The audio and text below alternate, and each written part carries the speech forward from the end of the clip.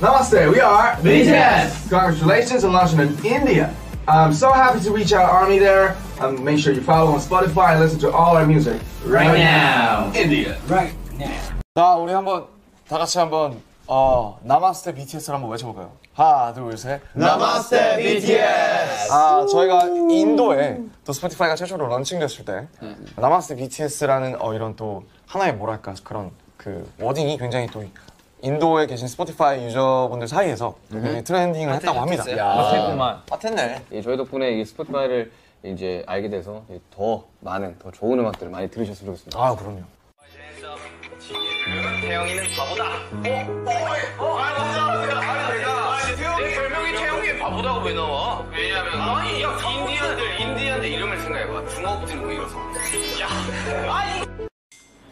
두부에서 우유 맛이 나는데? 뭐 볼래?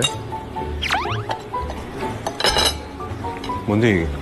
두부 같은 뭐 우유 맛이 나는데? 우유 아니야? 두부였나? 두부 같은데 치즈 아니에요? 그런가? 뭐였다?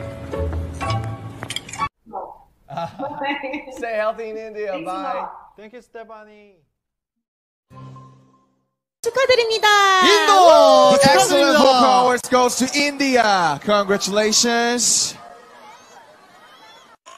This is from Sangsangi in India. Hi, I'm Sangsangi from Mizoram, India. I really, really love Simply K-pop and want to say this show makes me so happy. Especially when I see BTS performing, of course. Simply K-pop, 사랑해. you make my heart melt, baby. 인도 팬,